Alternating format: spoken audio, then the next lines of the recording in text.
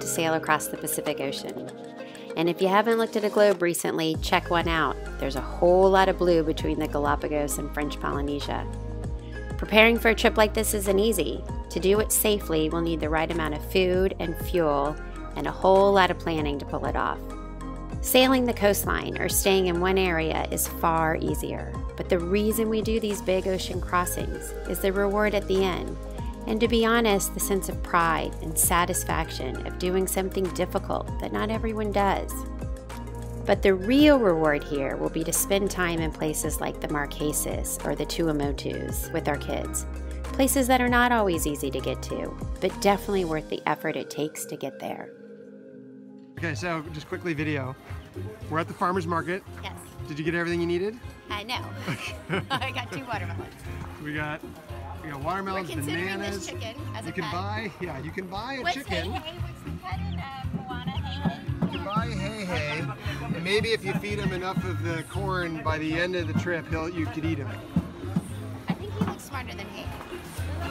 But uh, yeah, you can get not a lot here in Isabella. You can get melons, bananas, chilies. Chilies are good. Limes, papaya, pineapples.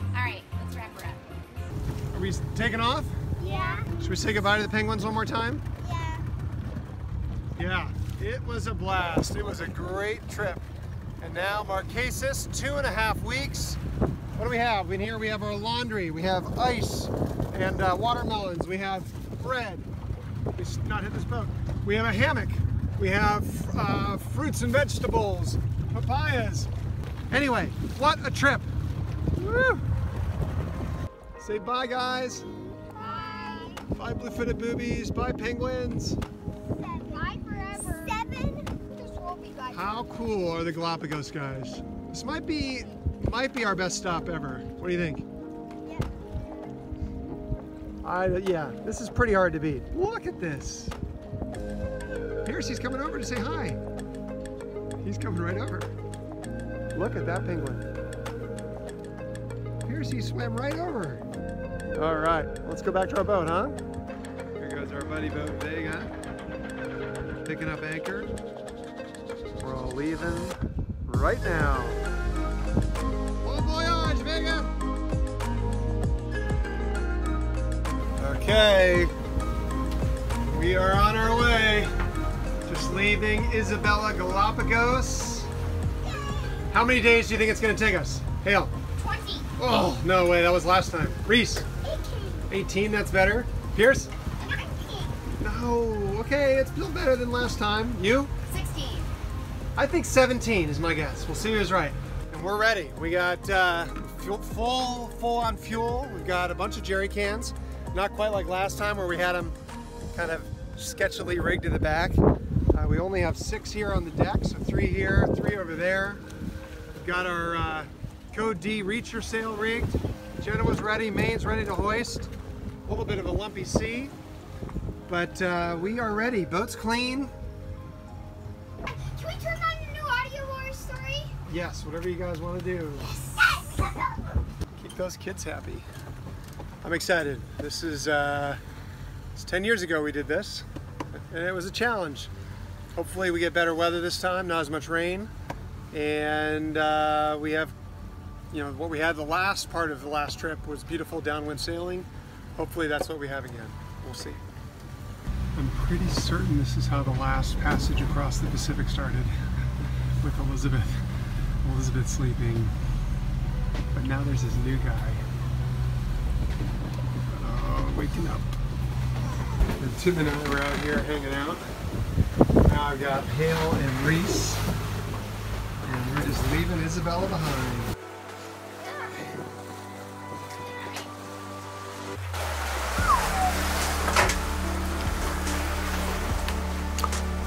About normal here. You're awake. yeah. So zoom out. How much further do we have to go? Are we almost there? Uh, we're almost there, really. Zoom out. Okay. Look, So yeah, keep I going. don't know where it So there's our first waypoint. There's our second waypoint. There's our third waypoint. Keep going. if we got any further. Oh. we got a ways to go. Yeah, there you go. That's where we're going. Oh, good lord. Four hours in. Feel like we're I feel like we're five. feel like we're five hours in. Okay, so we're not even we're not even out of sight of land yet, and stuff is breaking. Hey guys, our refrigerator is not very cold.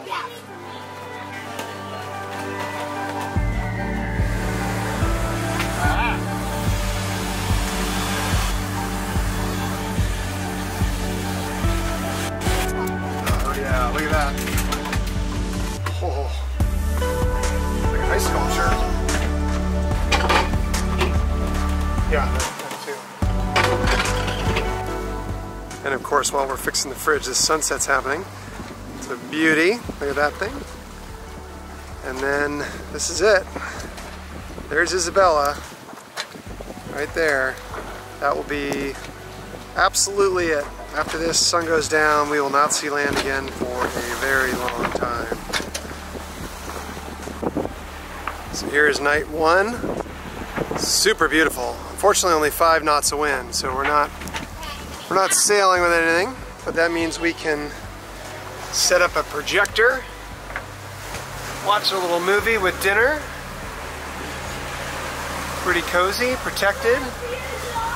Tonight we're watching Avatar.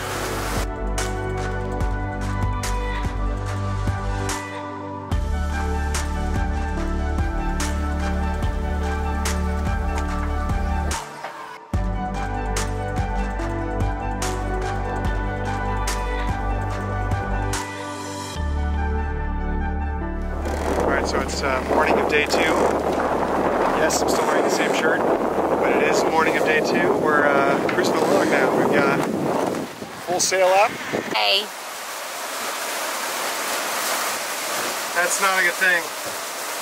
We screwed up. We uh, we're cruising along at eight knots, and then the gut wind went to 20 with the code D up. The hourglass uh, got snagged, and then it started to unravel again, and uh, it just the wind just was too heavy. It put a rip right in the sail. So this is our this is our go-to sail downwind. It's not even day one, and we've ripped it. So I've got some tape sail tape. We'll try and tape that little hole. Wait for a calm day if we get one and try and rewrap this. And hopefully we can use it again. We have a backup spinnaker symmetrical, but it's not as fast as this one. So if the goal is to cross the ocean fast, we just didn't do ourselves any favors. Not really sure how to exactly do this, but I'm glad we have this tape. Do that on both sides.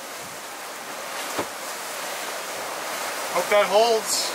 Not much more I don't think we can really do. So now the problem is how do we get it back up and furled? So we're gonna wait I think for a light wind day before we use it again. Okay, by the way, this is uh, starting day two. I didn't shave yesterday. I'm not gonna shave the whole trip. And uh, let's see in the end what my beard looks like. So it's night two, and I've pulled our waypoint from here over a little bit this way so that we're not so close hauled and on about 60 degrees we move. So we just saw 12.2.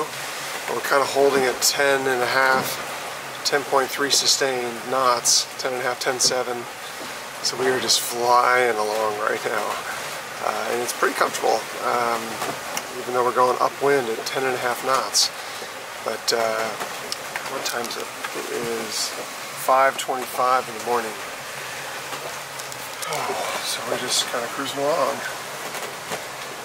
of a sudden the wind has picked up from 18 to 20, there we go, 23 apparent, 24 knots. It's quite a lot of wind out there, but uh, doesn't seem too crazy. People are still sleeping.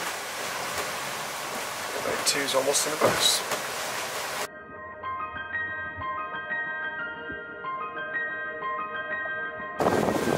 So it's pretty interesting. It was kind of cloudy and rainy where we were. Now it looks like we kind of hit that that front where it just turns into a nice sunny blue day. So we've been kind of sailing south, southwest toward our waypoint, but really south to try to get toward clear air. And it looks like we've kind of arrived a little bit earlier than thought. Okay, how stupid is this? The screw fell out of the top here. It just unscrewed and fell into the pole And so now the chair, nothing's holding the chair up. So I have no nav table on day three of a three-week passage.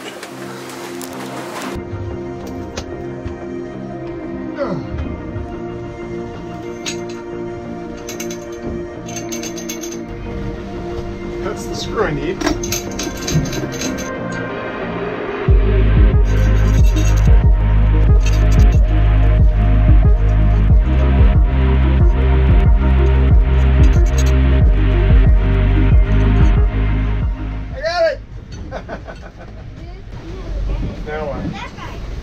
Screw itself is broken.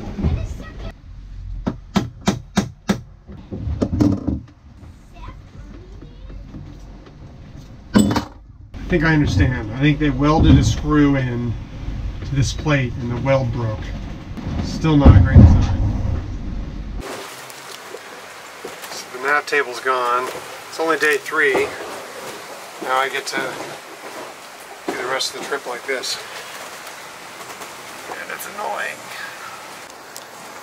We got a nice break between the storms.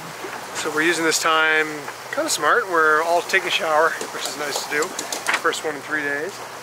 Uh, we're, I just did an inspection of the boat, kind of walked around the boat and looked for chafe. The only other chafe I found, which actually looks really bad, is the outhaul. So the outhaul right here routes through this block, which I don't think is tight enough because it rubs on this part of the boom. And so you can see the outhaul looks really chafed bad. So I'm gonna have to tighten this up somehow and then uh, replace that line as soon as I can.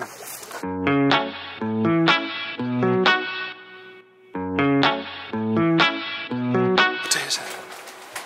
What day is it? Easter. Easter.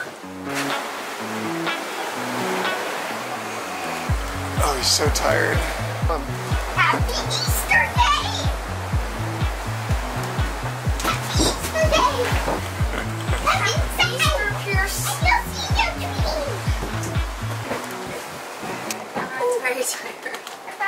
Oh.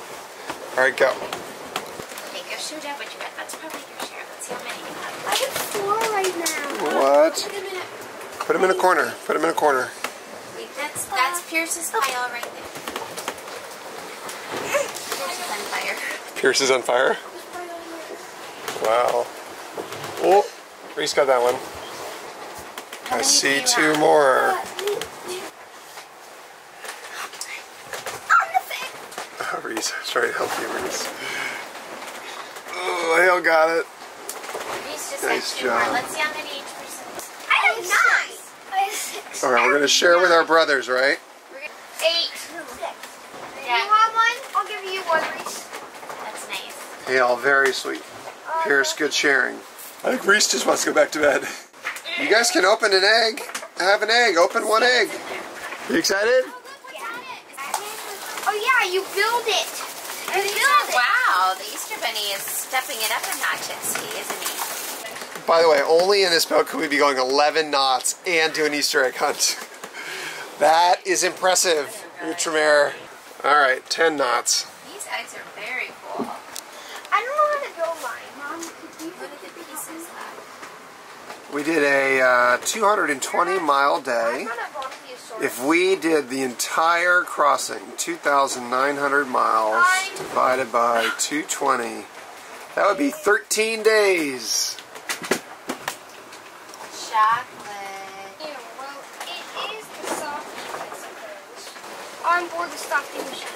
Ha ha ha. Roadworks dead ahead, Captain. What? Okay, it's a little dead, so we have a chance all of a sudden to put up the put up the spinnaker and uh, get that back sorted again. See how it goes.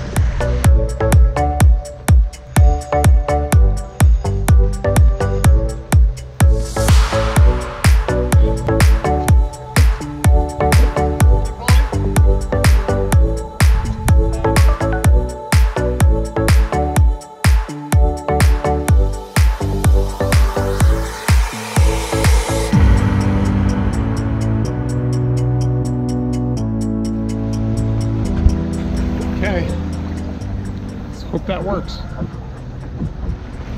We need that sail.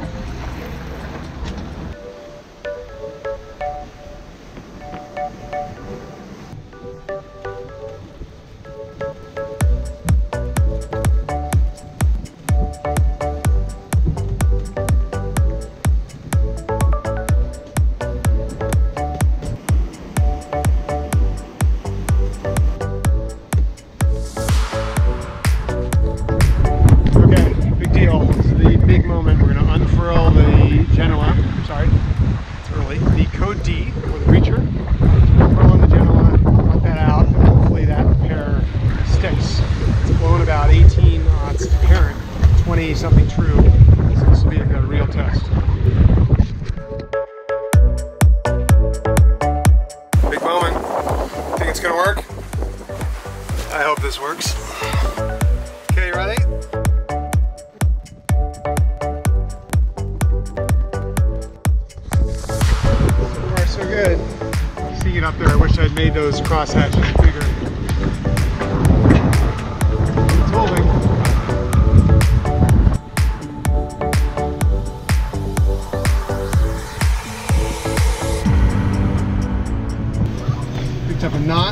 To a knot and a half speed with that change.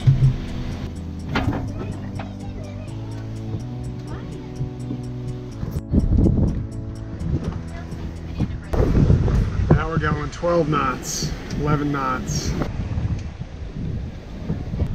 So today is day five. Uh, we woke up we kind of had squalls around us, lots of clouds, uh, really lumpy, confused seas, and not much wind. So last couple days we've been doing great, 210 mile days, and then right now we're going kind of like six, seven knots. Uh, about 11 knots of true wind, but we have to go downwind, so it's just not enough. Sails are banging around. It's kind of not a very fun day. I wish we were jamming. So it shows you how things change. Just an hour ago, I was complaining and moaning, and now, now the winds come up. Pretty good angle, only like 15 degrees off of where we want to go. But we're now on a beam reach and going between 8 and 10 knots. 10, 10 is the goal. There's only 66.67% more to go. That's good, a third. After five days, that's great. 15 days. She's going crazy. So today was pretty chill. Sort of, sort of getting into the groove, but Elizabeth's making chicken parmesan tonight. So we're actually, we're living pretty nicely in terms of passages. We're just kind of cruising along. Kids played some video games. I read them two chapters of Harry Potter. Uh, worked on the computer and trying to get email. Successfully downloaded some emails. It's amazing how the entire day just goes by. So day five, almost in the books. We're gonna have a nice meal, uh, watch a movie, uh, and that's kind of it. And then I do my usual torturous watch where I, on a night like tonight, hopefully there's not much rain, I can actually sleep a little bit, wake up, look around, and we'll see how that goes. Only 10 more days to go.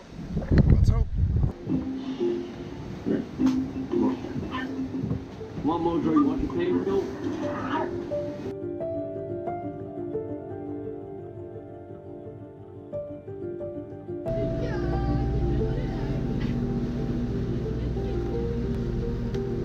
woke up on day six, Where are we? Hale didn't even know where he was. But what was important was, did the tooth fairy come? What is the way to Well, did you have it way under your head? Who's winning? Me! Me! I'm the only one who's got a guy in home. Our boys are amazing on Passage. They invent thousands of different games to play, some more painful than others, but they keep themselves entertained. They're very good friends, and it's a joy to see them invent games along the way. Can I tell you guys a funny story what happened last night? Yeah. So you guys were sleeping here. You hear- hearing this? And all of a sudden, you hear this really loud noises. Bam, bam, bam, bam, bam, bam, bam. And look out here. There's two flying fish right here on the ground, flopping around, just like this big, really big ones. So I grabbed a napkin, and I grabbed one of them, and I throw him out the window. And guess what he did? What? He flew back in. he hit the wind and uh, sailed right back into the boat. I was like, what is happening? Anyway, that was my flying fish story. Don't throw it into the wind. Don't throw it, yes. Never pee into the wind, right? Yeah, I understood his idea. 12.3 peak. Boat says right now six days, 10 hours. What do you think, man? That'd be nice. So it's uh, about midnight on the 24th. So I think that's our, going into our seventh day. And it's uh, really windy out. This is what I hate actually. I hate uh, it's completely dark. You can't see anything. Just feeling the waves, feeling the boat pitch up and then surf. We've got two reefs in our main, uh, heavily, heavily reefed Genoa. Um, and we're going 9, 10 knots easy, surfing down waves up to 11, 12 knots. That's all in spec for this boat, but it just feels really fast in the dark. You can't see anything. There's no clouds. Or there's clouds, there's no moon, no stars, pitch dark. All you can do is feel the boat moving and rolling up down a wave and surfing down and surfing down on its side. It's just a really roller coastery feeling. I just still worry, still get you worried, no matter how many times you do it. That is a lot of wind and a lot of speed given how much reefing we have done. Okay, I don't, I don't know if you can see me or not, but it's now uh, five in the morning. I'm sitting up in the helm seat. It's uh, it's been a really long night. Uh, conditions are the same. Boat actually is handling it really well. I probably could have slept, but uh, it just feels like the wrong thing to do on a night like this, where you got 23 knots of wind now, 23, 24 knots of wind, and then uh, really confused seas. Actually, can't wait to see this in daylight. So it's going to be very interesting. Um, some really big rollers breaking every now and then, and lots of slamming on the boat. Even though we have a really high bridge deck, it's, uh, it's still been slamming underneath us. So it's been a very interesting night. I think I'm uh, ready to sign off.